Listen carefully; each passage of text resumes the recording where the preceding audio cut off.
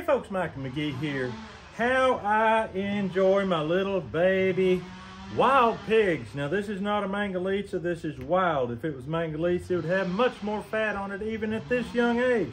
But it's wild, it's with the 15 that we were given back in the, uh, what will you call it? Early spring, it was warm weather, no doubt. We had to really get with it to get those pigs clean. But we got them and we were happy to get them. And I kept this one whole a lot of times these little guys like this, people just, they dispatch them, throw them over the hill, and they say, oh, there ain't no meat on them. No way, it ain't worth fooling with.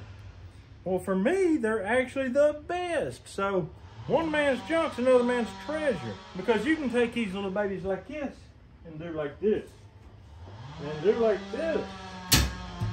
McGie, you didn't put no seasoning on it. Don't worry, I've got a theory and it always has worked for me. Salt pulls out moisture. I don't have any excess moisture to spare. So I'm gonna leave the salt off of it until I wrap it. I will wrap this pig and I will finish it. I'm not sure at this point if I'm gonna finish it in here or in the oven, but even my oven is wood fired. So I say, let's do it. As you hear in the background, the boys are cutting firewood today. We just got done making a barrel full of plantain silage that weighed 415 pounds. That's the heaviest barrel of silage we ever made. And now they heading straight out to cut wood. I don't know how long they'll cut, but if you keep cutting there, you know, you'll get your year's supply. We always have a year's supply, but we keep cutting, keep cutting. We want to keep that supply going because we burn wood every day. I think the boys deserve a good feast.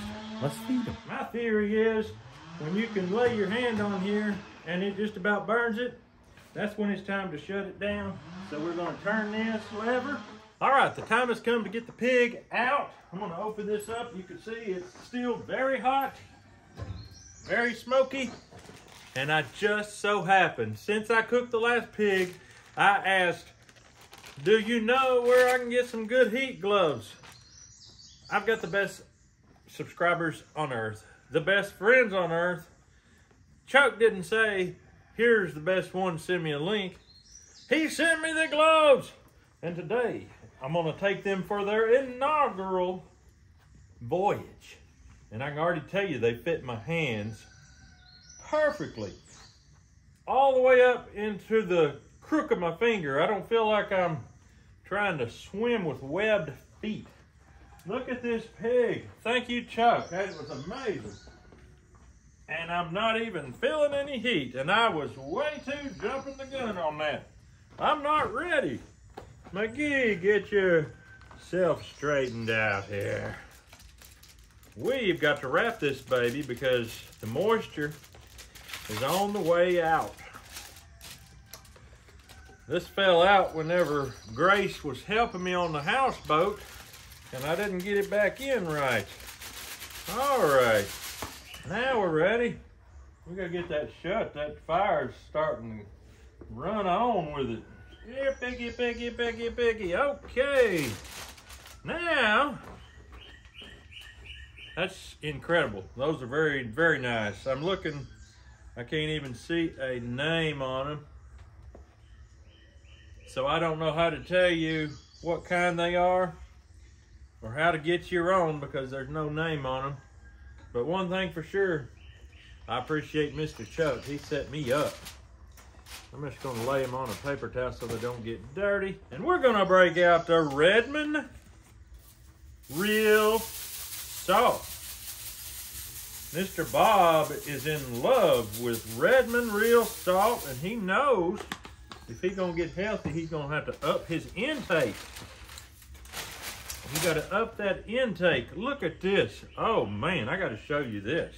That's beautiful right there with them grill marks on it. Oh man, that right there is a pig and a half. And that's the side that we are ready to season. Oh, that's gonna be some good eating. Redmond real salt. I mean, we're salting the whole pig. You can't expect to salt it like you would a small quail and expect it to taste good. You gotta lay it on it. Absolutely lay it on it.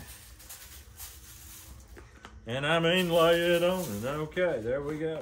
If you've known anything on my channel in the last 500 years, you know Camp Dog Cajun seasoning is where it's at. Anytime you're cooking anything, it don't matter if it's wild, gamey, tame, tame as a chicken or wild as a armadillo. Yes, I've got some armadillos I need to cook up. Thank you, Longbow. It's gonna be good. And we're gonna lay it on there like that right there. And at that point, we're gonna wrap it up. All right, we're going back in with it just exactly like this.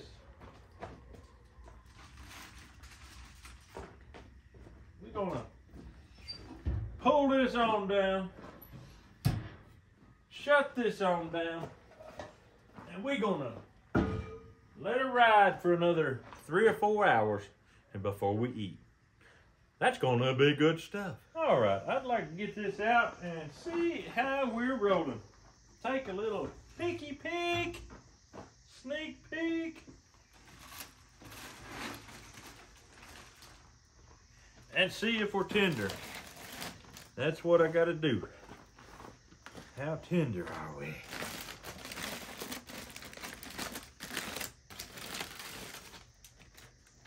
Oh. Well, still got to cook. Not done yet. That's why you check. Better not done than to be burned up. That's what I say.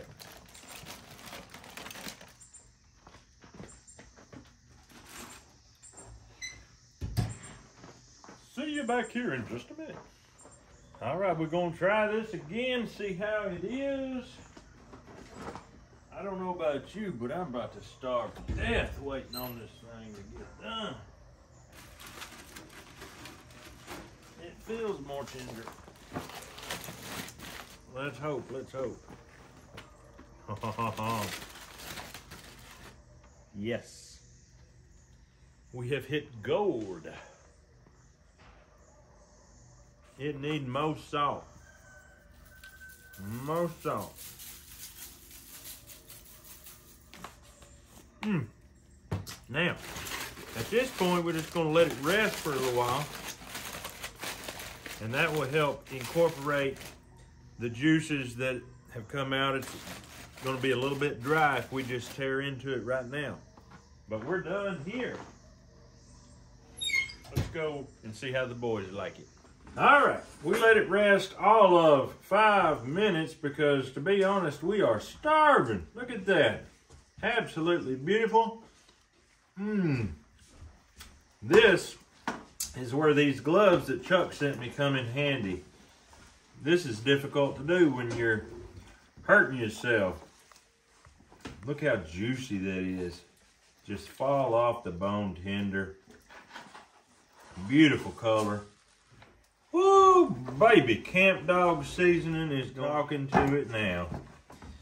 And I just reach in here, get a hold of this, pull it right out.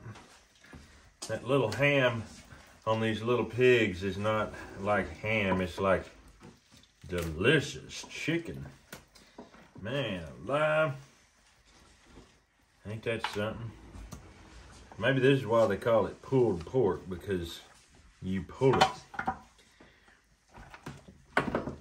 Look this shoulder here. Ah, this is one that had them grill marks on it. Man, oh man, is that ever something.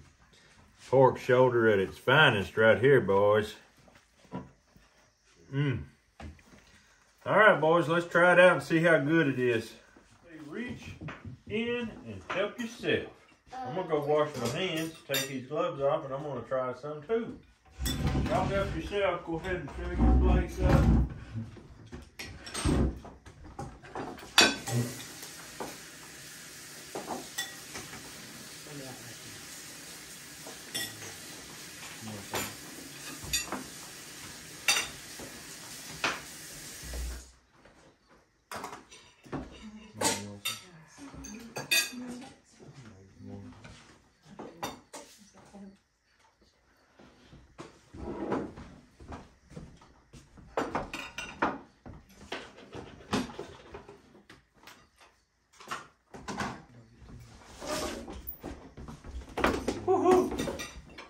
Believe that'll do me.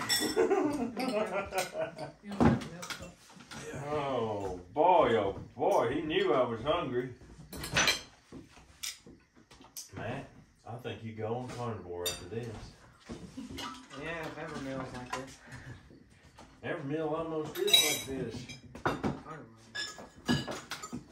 All right, boys and girls, try her out. Huge thank you to Chuck for sending me those heat gloves. They just made the difference. And a huge thank you to Camp Dog for supplying the seasoning. Redmond real salt is tender. I love the smoke flavor. Mm-hmm. Let's see. That was that was ash and red oak. Mm-mm-mm. That's really good. Is there a lemon on it? No lemon. No one? What'd you do? He put a lemon on it. I got 'em good. I got 'em good. you got it good? How? I put lemon zest on his fork. oh, you turkey!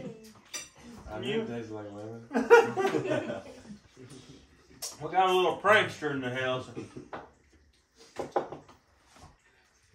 Boy, oh boy. One thing for absolute sure, if this was tough and dry, there's no way I could eat all that. But that is tender, moist, not putting the salt on until I was ready to wrap it. All the difference in the world. I got a hundred comments on a one particular pig roasting video, and they they absolutely grilled me over the fact that I didn't put seasoning on it at first. Don't want to do it. Plenty of seasoning in it. Mm-hmm. Big thank you goes out to Mr. Pete that caught these pigs and gave them to us. 15 in one day. Unbelievable. Matt, were you as hungry as I was? I don't know. I didn't have to watch it the whole time, so I was. I don't think I'm as hungry. For those of you that are interested, I am actually losing weight on the carnivore diet while still drinking milk. But so far on the carnivore diet, I've lost about 12 to 15 pounds. You never know when you weigh, you know it fluctuates and all that good stuff, but definitely not what I was. Feeling better, more energy. We've been working quite a bit here lately. Doing quite a bit of things, haven't we, Matt? Mm-hmm. Yeah, this stuff is so tender, it's unbelievable. Tender and juicy. Some of that has to do with the age of the little thing. Milk is a huge controversy. More than half the people will say, drop the milk, get rid of the milk. Well, this ain't no store-bought milk. It's never been pasteurized, homogenized, or nothing. All the feed that goes into her is good feed. Plus, it's A2 A2 milk. It's not A1 protein. Much better for digestion. So, I'm gonna keep my milk. Also, if you want to see the boys and me process these pigs in about five minutes, I'll try to remember to leave a link to that video in the descriptions as well so you can go watch it. It became a fairly popular video at the time. A lot of people watched it. We had them piglets skinned out in no time. All right. Last piece on my plate down the hatch. Joe, load me up just right. I won't have to get seconds. You need some more? No. Anybody need more? Looks like we got enough for lunch tomorrow, Mom. All right, folks, that's all we got for you. We hope you have a great day. We'll see you on the next video.